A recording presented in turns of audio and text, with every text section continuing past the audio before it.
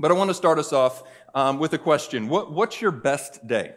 Your best day, flat out. Um, if you were to describe what your best day is in your life so far, um, maybe it's maybe it's a, a, graduation, whether it be high school, college, maybe it's a master's, uh, maybe even doctorate. Um, if you're up there, maybe you got a job, got a promotion that you wanted. Um, you won an award, maybe it was for sports or in school, or maybe even afterwards at work or some some other uh, achievement. Maybe it's celebrating the Chiefs winning a Super Bowl again. Uh, maybe that's your best day.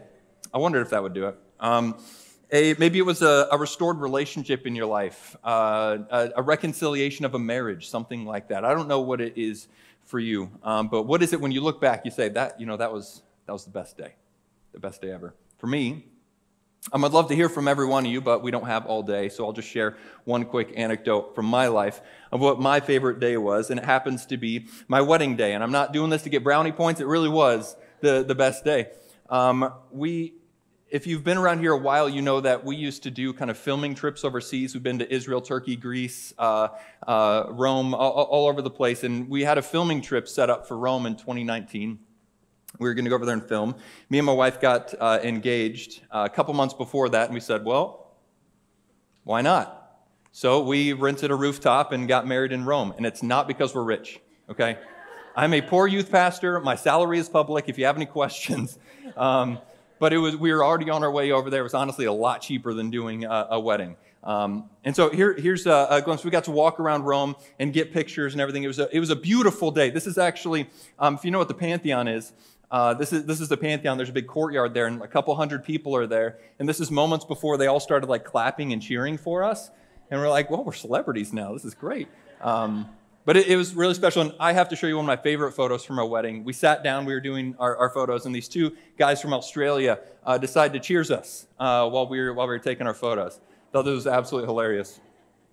Um, this is, this is uh, my, my best day. We, we, got, we got married. We had an incredible meal um, afterwards at this, this restaurant. And then um, it, it, got even better because at 2 a.m., we got on different flights to fly back to the States. So, um, great way to, to end your wedding day. Um, so, what, what's your best day, though? What's your best day? Um, it probably has a lot to do with your stage of life, depending on where, where you're at. Um, but thinking about it, as I sat down this week and started thinking about it, I, I had a hard time coming up with that, to be honest with you. Because I don't know if you're like me, but I, it's a lot easier for me to think of, think of and pinpoint my worst days than my best days. Would you agree? I can come up with plenty of, of my worst days, and so it's difficult for me, and if it's difficult for us to pick out a best day personally, um, how, how are we going to pick out a, like a best day historically, right? Um, uh, holidays help us with that, whether it be July 4th or Emancipation Day or Christmas or even Easter. They help us mark special days throughout history, but what, how do we figure out what the best day in history was? And if you're here on Easter, you're probably assuming you figured it out. I'm going to say it's Easter, and you're wrong. It's actually not. I'm just kidding. It is. It is, I, I no surprise, we're going to talk, I, I believe that's the, the best day. But what happens on that day leads us to believe that it is um, the greatest day in human history. Um, it, that's why today, really, if you're a follower of Jesus, it's our Super Bowl. I know the Chiefs have done their thing, but this is the real Super Bowl for us that are followers of Jesus. And it's the day that we got hope. And you can't live without any sort of hope, even if it's that like tomorrow is going to be just a little bit better than today. We can't live without any sort of hope. Hope is what keeps us going. And anyone who's been in the throes of depression or in dark days, you know that you, without it, it makes us not want to live because what is living without any sort of hope? It feels like our, our best days, and I don't know about you, sometimes it can feel like our best days are getting further and further apart. So, how do we find hope in the middle? And if you came here today looking for hope, I believe you came to the right place. And I hope to help, help you leave with that today. Our heart as a church is to um, be a place that no matter who you are or where you've been, we believe there's hope for a new story in Jesus. It's printed on the back of our building. You probably saw that maybe if you parked back there. We believe this to our core. Hope has a name, and his name is Jesus, as we were just singing about. And what I want to do today is talk about just that And I'll give you a roadmap really quick. Here's where we're going to go, so there's no surprises or twists and turns, okay? I'm gonna, we're going to walk through a quick eyewitness account of what happened that day. I'm going to give you uh, some of the reasons why I believe the, the resurrection is compelling and, and is, is worthy of trust that you can then go and look on your own, um, and then some implications of that, okay? I promise to try and get it done quickly. Um, and not keep us here all day because uh, this type of stuff I could, I could talk for a while, but I'll try not to. Does that sound good? Oh, no. maybe, maybe I need to try it. Let me go back to the drawing board. We'll try again.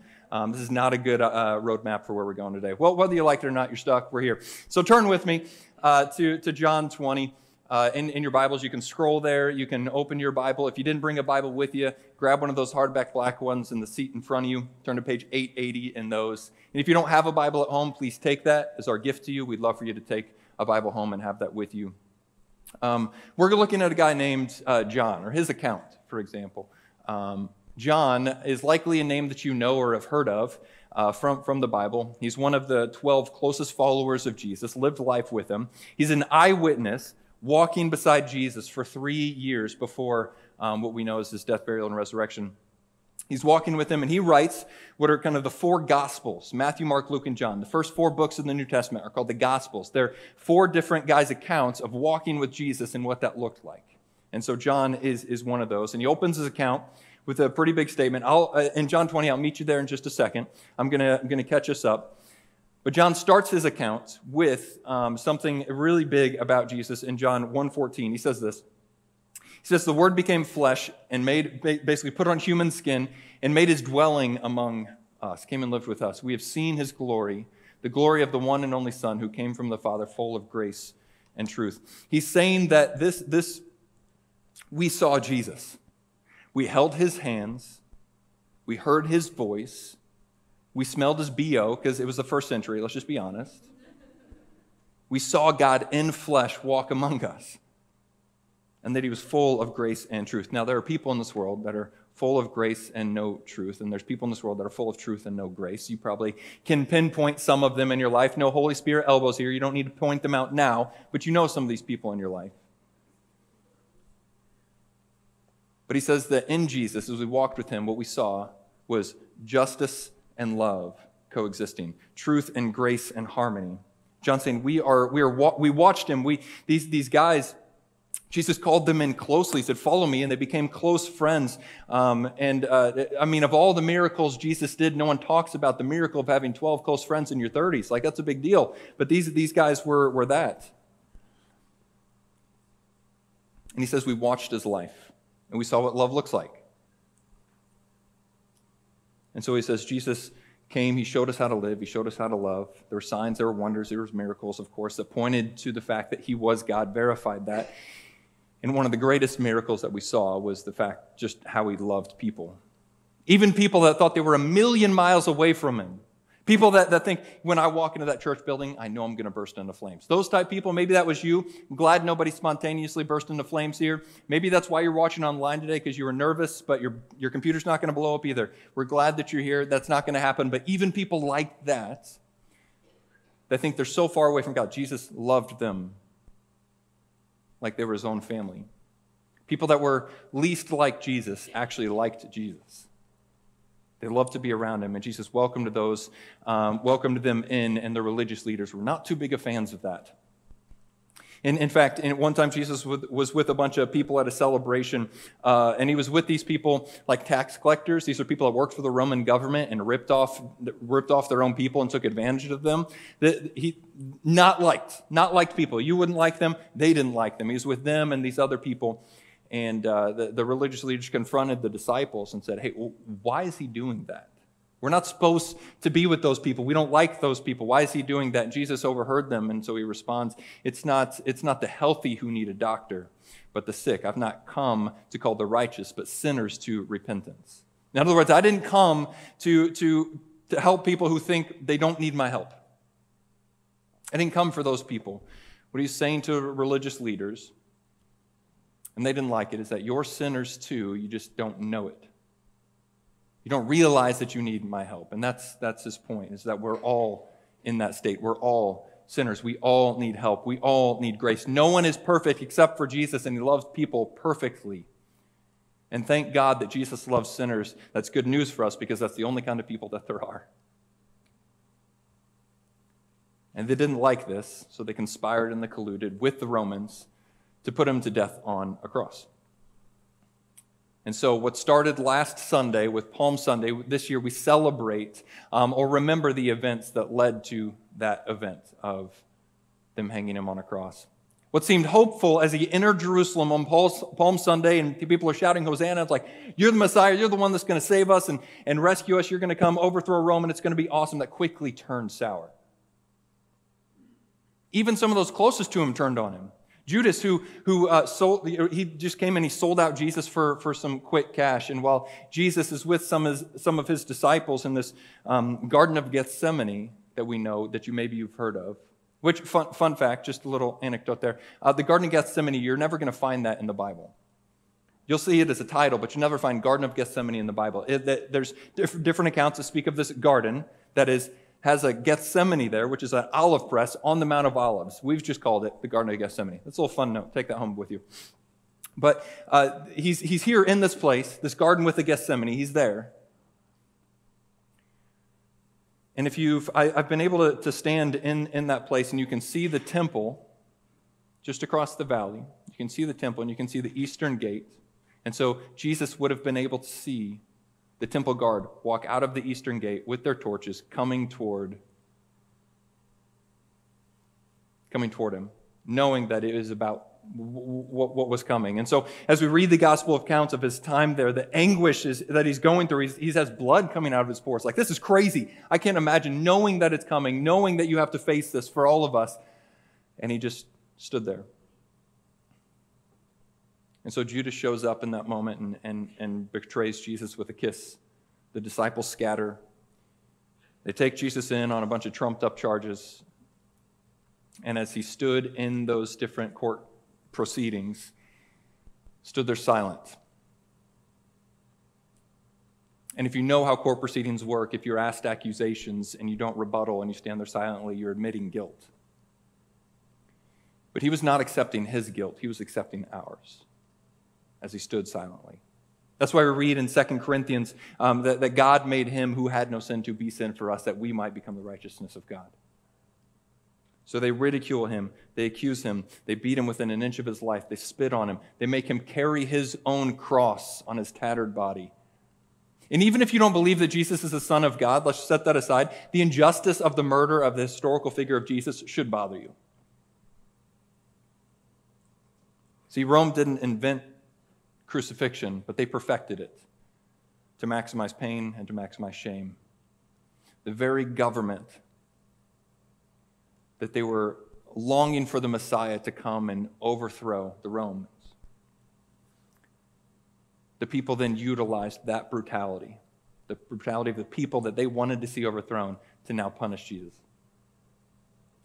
And there they, they at, at this place called um, Golgotha, the place of the skull, they drove nails in his wrists and in his feet and lifted him up to die. And this is what we call Good Friday. This is chapter 19 of John. We're just about caught up. And while hell was celebrating, the disciples were shaking in their boots, and the, the one that they hung all their hopes on was now hanging on a cross. The one that they trusted and believed in is now laying in a tomb. And then Saturday comes. Now, we know the story, right?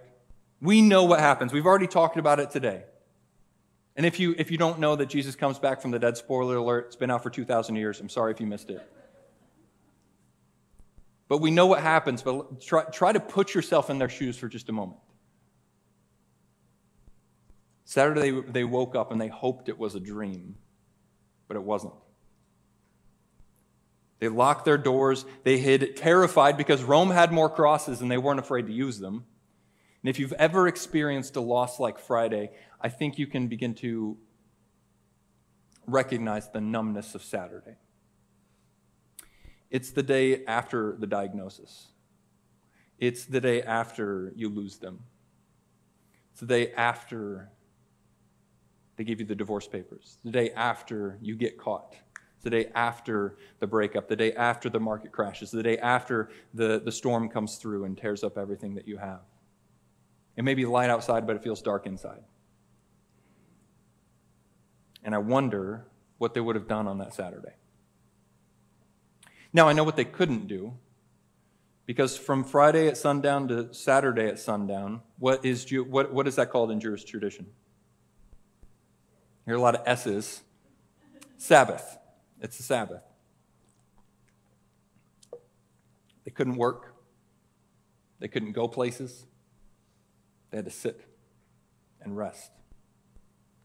Now, if you're like me, I like to work to keep my mind off things. I'll go out and do yard work, I'll do, do whatever, just to keep my mind off things sometimes. That's just a, a coping mechanism that, that I have.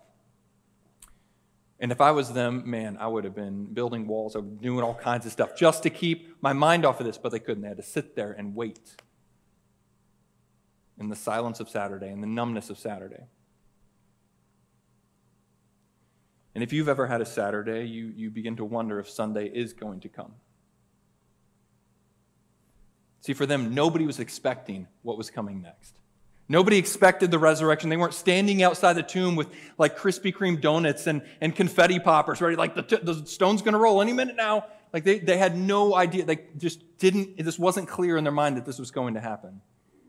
So, how did they approach the tomb? Well, let's look at chapter 20, uh, verse 1. I'm going to put it up here, but I'll always encourage you please look at it in your Bible. Make sure, I, I always want to verify, I'm not making stuff up, okay? The church has got herself in enough trouble with that. So whatever I put up here, just make sure that, that it's in there, okay? John 20, verse 1 Early on the first day of the week, while it was still dark, Mary Magdalene went to the tomb. So the stone had been removed from the entrance. This is, um, Mary is, is essentially, some of the other gospels fill in the gaps there, but she's taking spices and things because they're expecting a smelly body. Verse 2 yeah, sorry. She saw it was empty. So she came running to Simon Peter and the other disciple, the other disciple being the one Jesus loved, and said, They've taken the Lord out of the tomb. We don't know where they've put him.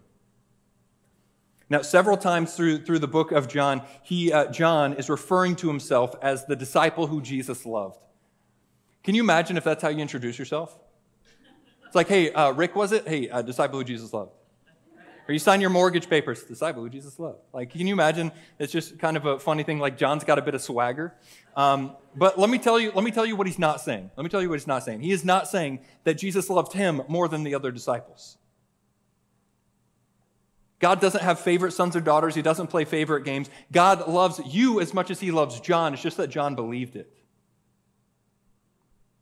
You are the one that Jesus loved, and that's really good news. And can you imagine what that would do to your insecurity?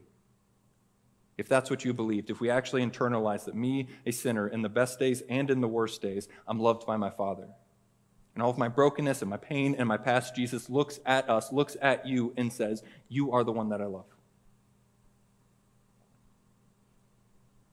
And so John identifies himself that way. And then we get to verse 3. I want you to look at it with me. Verse 3. So Peter and uh, sorry, I'll read, so Peter and the other disciple started for the tomb. And this is funny. Both were running, but the other disciple outran Peter and reached the tomb first. Like, John, why'd you include that detail? He could have left it out, but he wanted to make sure you know he's faster than Peter. oh, man. He must have got them new kicks. You know how new shoes make you run faster? That's what happened. John 20, verse 5. Um, it says he bent over and looked at the strips of linen lying there, but did not go in. Then Simon Peter came along behind him and went straight into the tomb. He saw the strips of linen lying there, um, as, as well as the cloth that had been wrapped around Jesus' head. The cloth was still lying in its place, separate from the linen. And verse 8 finally, the other disciple who had reached the tomb first, in case you forgot, also went inside. And it says he saw and he believed. He saw the empty tomb and he believed. Look, when Mary first showed up and came to the, to the disciples and where they were at, and, and she said, Hey, the tomb's empty. We don't know what's going on. They thought she was outside of her mind. And so, if you have, I want you to know, if you are in here and you have a hard time believing the resurrection, you are in good company because the people that walked with Jesus for three plus years still didn't get it. They missed it too. They had a hard time believing it. John even outs himself in the next verse. He says, They did not understand from Scripture that Jesus had to rise from the dead. He's like, Just want you to remember that, that we still had no idea that this was going to happen.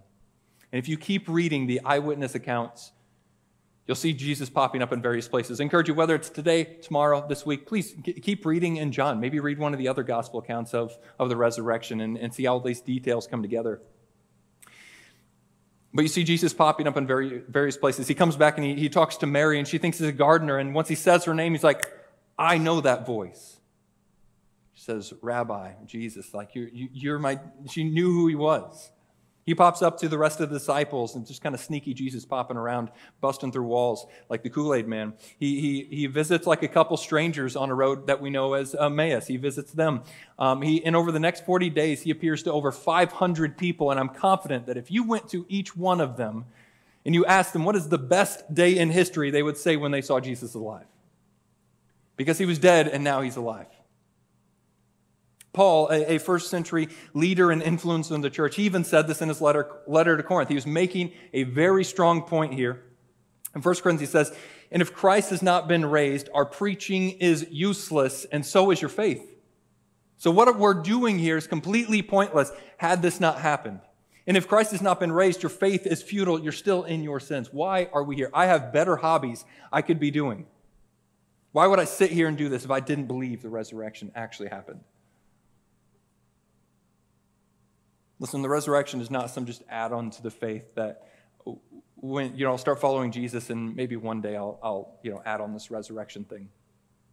It is the basis of our faith. The only reason we have this, the only reason we have this in our hands is because of the resurrection. The only reason Jesus' story was worth telling is because of the resurrection. Because if he had stayed in the tomb, what is the point?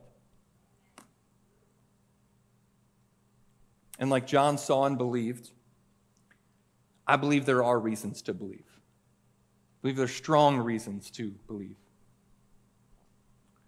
And I want you, want you to know this, as I just want to walk through a couple things here. Um, God never asks us to turn off our brains. Never once.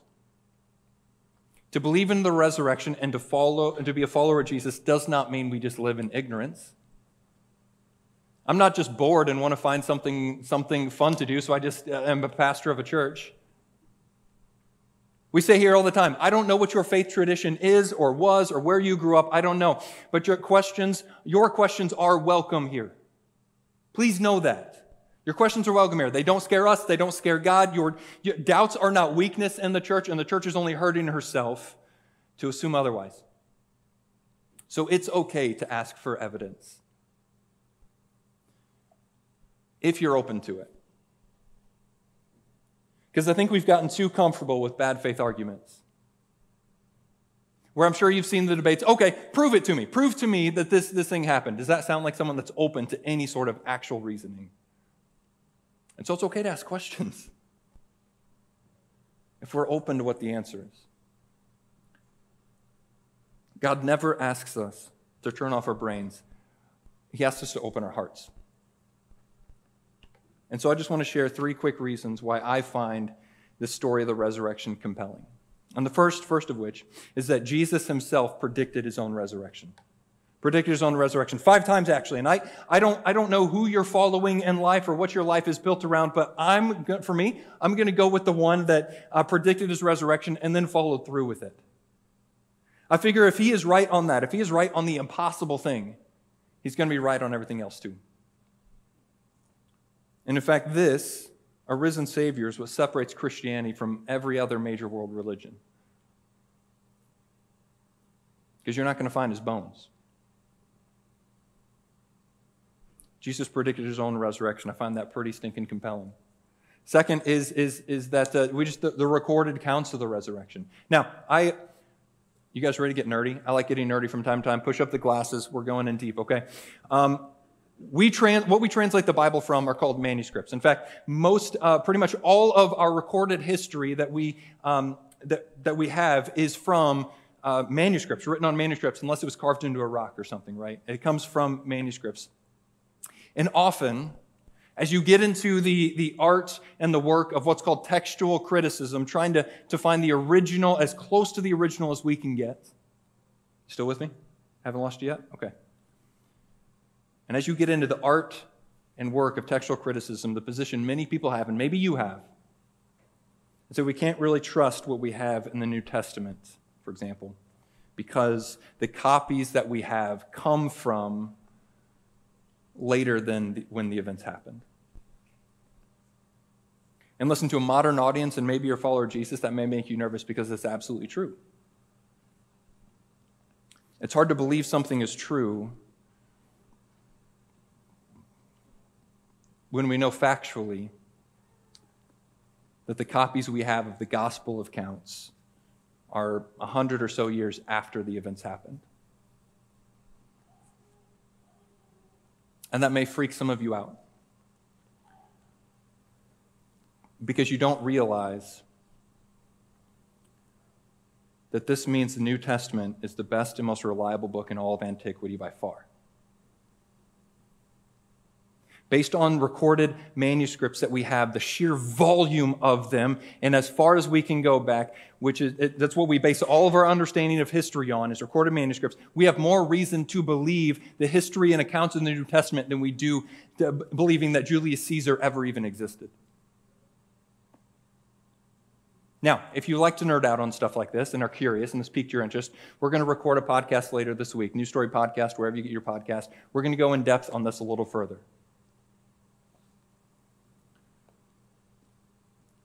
This is worthy of our trust. And the recorded accounts for me are compelling.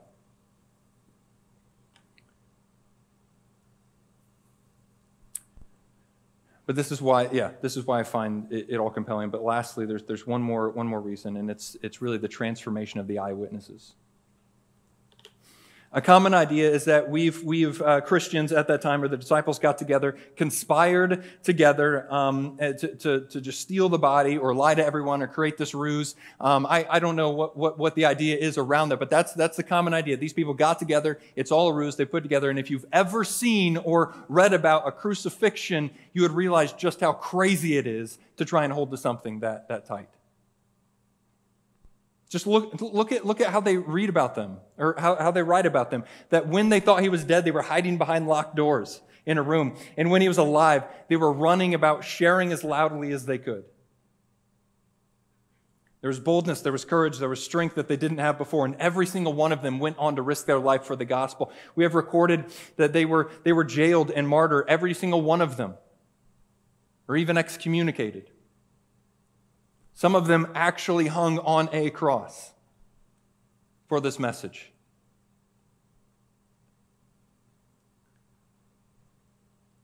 Because if you put your faith and trust in Jesus, you don't have to fear death.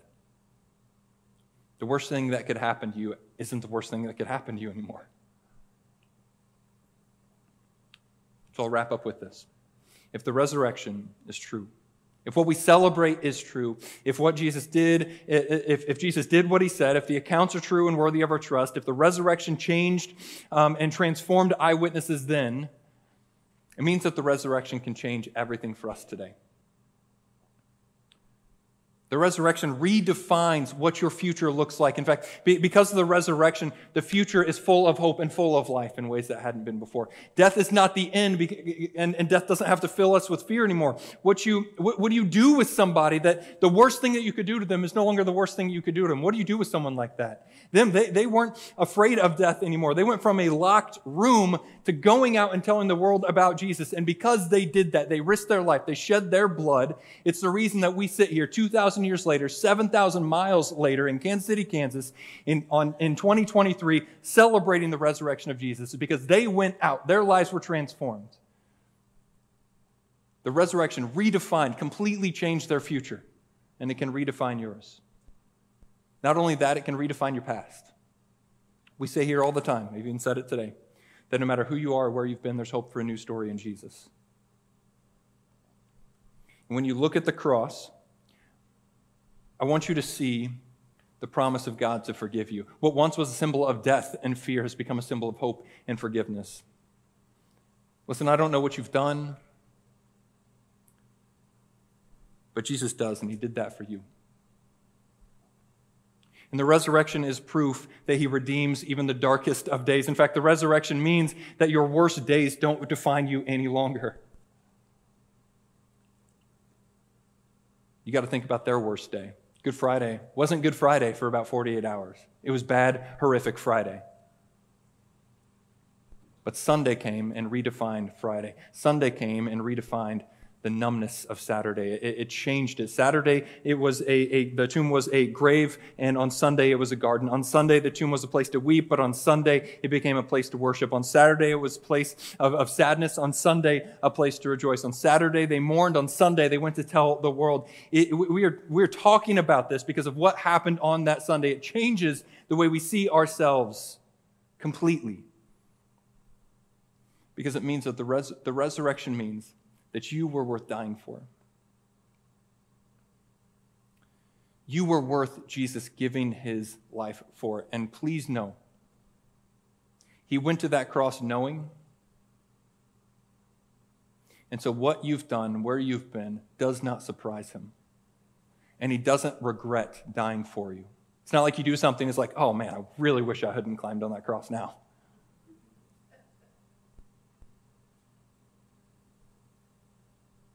Or maybe you, you begin to think that what was accomplished there wasn't enough, or, or that maybe people have made you think that, that Jesus had to hang on the cross a little longer to forgive your sins. And if somebody's made you feel like that, I'm sorry.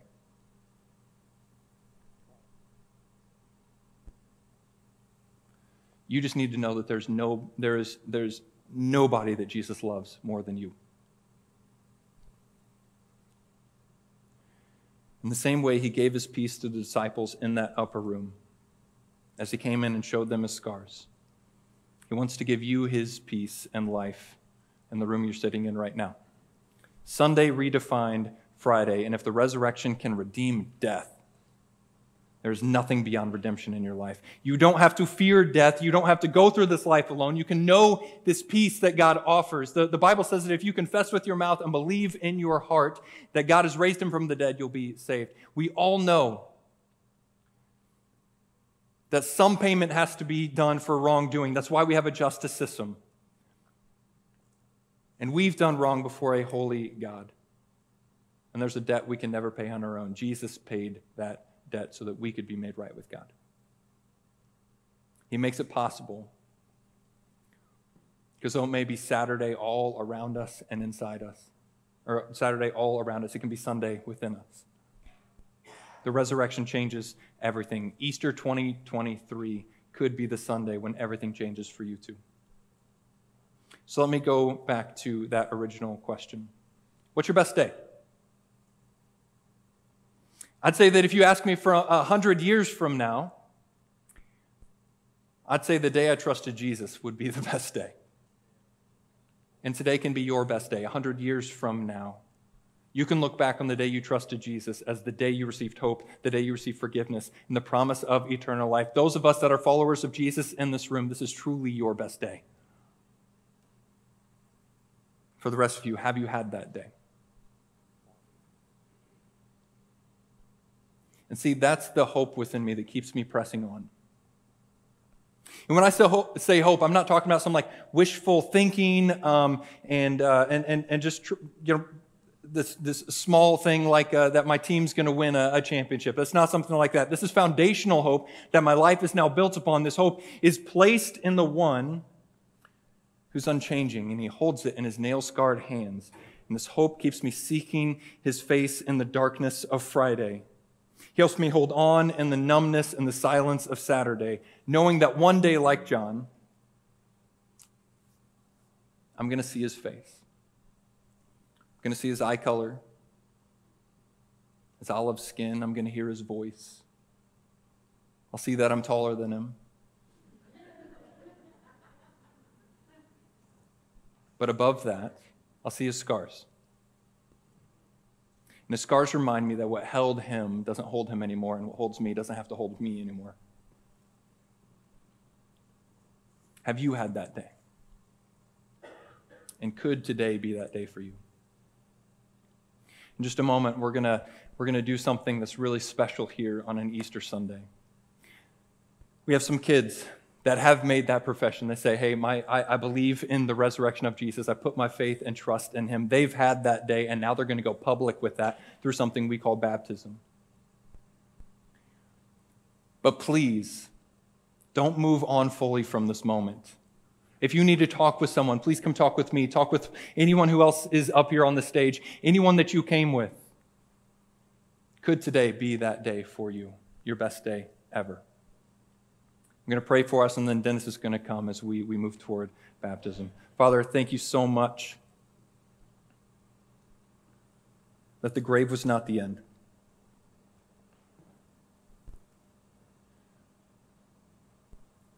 Thank you that you went through, your son went through the agonizing pain